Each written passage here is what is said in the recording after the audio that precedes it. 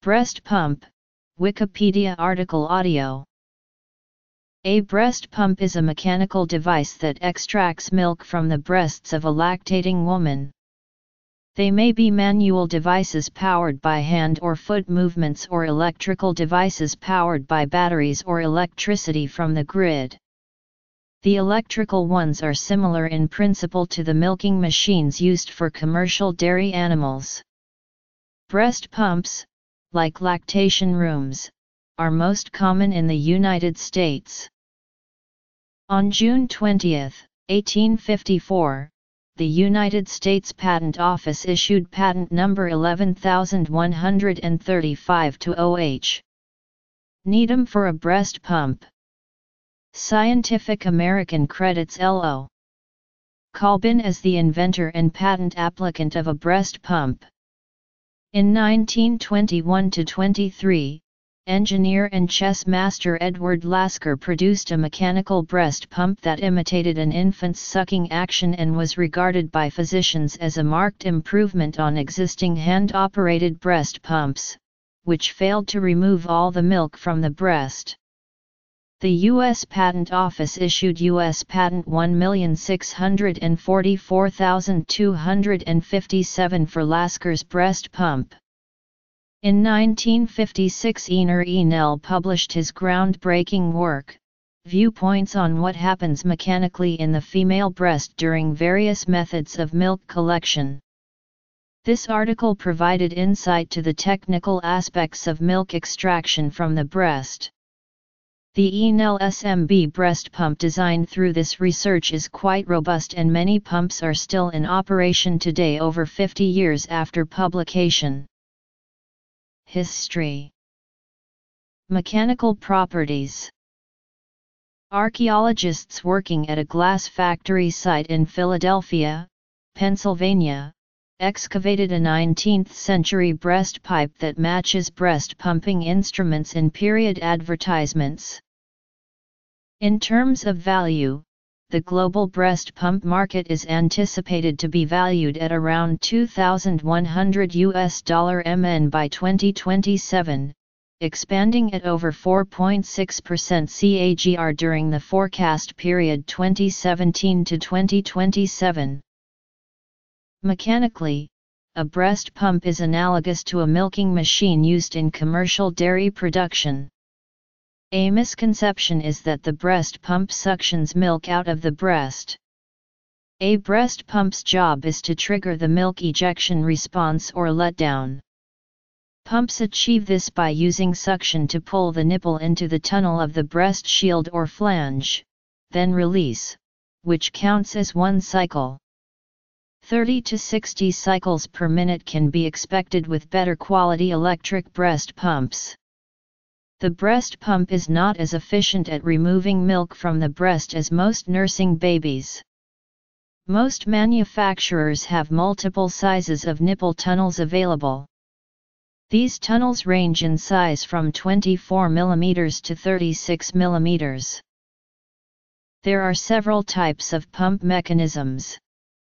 Piston pumps draw a piston through a cylinder to create suction. These are generally considered top-of-the-line units. They have characteristics of low speed, high reliability, low noise, and long life. Rotary vane pumps use a cam with retractable vanes to create suction. These rotary vane pumps are not widely used anymore. Fast diaphragm pumps use a diaphragm that is acted on by a lever, with thousands of cycles per minute. They operate at higher speed and are usually noisier. Slow diaphragm pumps use a large diaphragm operated by a cam or lever to generate suction with each stroke. Pumps have also been designed that use Venturi effects powered by a faucet or water stream, wall suction in hospitals, or pumps powered by oral suctioning. A report in 2009 on research done at Stanford University showed the correlation of various factors with mature milk production in mothers of preterm babies. The research found that using massage techniques in addition to a breast pump, along with several other factors, was highly correlated with higher milk production.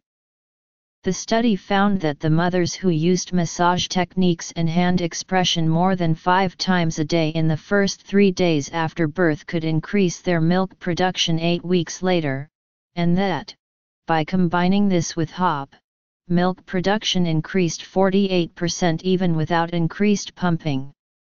The authors of the report produced a video which shows the technique and states that this technique is good for both mothers of premature infants as well as mothers that return to work or pump for other purposes. Efficiency A second article on the same study found that the combination of the HOP techniques increased the fat content of the milk expressed. Most breast pumps allow direct collection of pumped breast milk into a container that can be used for storage and feeding. Many pumps are proprietary, and you must use the manufacturer's bottles for this purpose. Other manufacturers allow for adapters to fit a variety of types and sizes of bottles, which allows more selection and the ability to change collection and feeding system based on mothers and babies' preferences. Milk collection and storage. The expressed breast milk may be stored and later fed to a baby by bottle. Expressed milk may be kept at room temperature for up to 6 hours, refrigerated for up to 8 days, or frozen for 12 months in a deep freeze separate from a refrigerator maintained at a temperature of 0 degrees Fahrenheit, 18 degrees Celsius. Expressed milk may be donated to milk banks, which provide human breast milk to premature infants and other high-risk children whose mothers cannot provide for them. Women use breast pumps for many reasons. Many women use them to continue breastfeeding after they return to work. They express their milk, which is later bottle fed to their child by a caregiver. This is widespread in the United States, where maternity leave is typically the shortest in the developed world. American historian Jill Lepore argues that the so-called lactation room and breast pumps generally are driven by corporate need for workers rather than mothers' wishes or babies' needs. Reasons for use a breast pump may also be used to stimulate lactation for women with a low milk supply or those who have not just given birth. However, it is important to note that the amount of milk a woman is able to pump should not be compared to how much milk a baby can get, efficiency greatly varies. Pressure range and safety A breast pump may be used to relieve engorgement, a painful condition whereby the breasts are overfull, possibly preventing a proper latch by the infant. A mother may also choose to pump exclusively if her baby does not latch properly, is hospitalized after birth, or cannot nurse for physical reasons. In the rare situation where the mother needs to take medication that affects the breast milk and may be harmful to the infant, she may pump and dump to keep up her milk supply, and may resume nursing after the course of medication is completed. Pumping may be desirable to continue lactation and its associated hormones to aid in recovery from pregnancy even if the pumped milk is not used. Manual breast pumps In a 2012 policy statement, the American Academy of Pediatrics recommended feeding preterm infants human milk, finding significant short and long-term beneficial effects, including lower rates of necrotizing enterocolitis. When infants are unable to suckle, mothers can pump if they wish their babies to be fed with the mother's own milk. Expressing milk for donation is another use for breast pumps. Donor milk may be available from milk banks for babies who are not able to receive their mother's milk. Electric breast pumps Egnell in 1956 established a 220 mmHg safe maximum for automatic cycling pumps. There have been reports though of sensitive breasts and nipples at much lower pressures. Hartman P. ETAL in the 2008 study showed that the maximum comfortable vacuum enhances milk flow and milk yield. Manual breast pumps are operated by squeezing or pulling a handle in a repetitive fashion, allowing the user to directly control the pressure and frequency of milk expression. Though manual pumps are small and inexpensive, they can require significant effort and can be tiring because the user provides all the power. They also allow for only one breast to be pumped at a time. This style is recommended for infrequent usage such as when a woman is away from her baby for a single feeding. These pumps may not provide sufficient stimulation and emptying of the breast. It is recommended that bicycle horn style manual pumps not be used. Though cheap, they can damage breast tissue and harbor bacteria in the rubber suction bulb, which is difficult to clean. Foot-powered breast pumps use the same collection tubing and breast horns as electric breast pumps, but are powered by a foot pedal.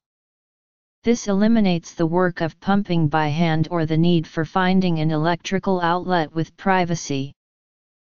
There are two types of electric breast pumps, hospital grade and personal use pumps. Hospital grade pumps are larger and intended for multiple users. Personal use pumps are smaller and generally intended for one user. Electric breast pumps are powered by a motor which supplies suction through plastic tubing to a horn that fits over the nipple. The portions of the pump that come into direct contact with the expressed milk must be sterilized to prevent contamination. This style provides a lot more suction, making pumping significantly faster, and allows pumping of both breasts at the same time. Electric breast pumps are ideal for when a mother will be pumping daily. Electric breast pumps are larger than manual ones, but portable models are available that allow the mother to transport the pump. Some manufacturers have battery packs or built-in batteries to allow portable operation of the pumps. Some electric pumps allow for multi-user operation, requiring only an accessory kit for each user. Electric breast pumps can also be rented. Rental pumps are many times recommended for mothers or babies with medical problems such as a premature infant or mother on medication that contraindicates breastfeeding. Rental pumps will generally sustain a mother's milk supply better than personal use pumps. Lactation consultants may assist in selection and training in use. Open collection systems versus closed collection systems. Some breast pumps are designed to be part of a feeding system so that the milk storage portion of the pump is the baby bottle used to feed the infant. This allows the milk to be collected in the same bottle that will feed the baby eliminating the need to transfer breast milk.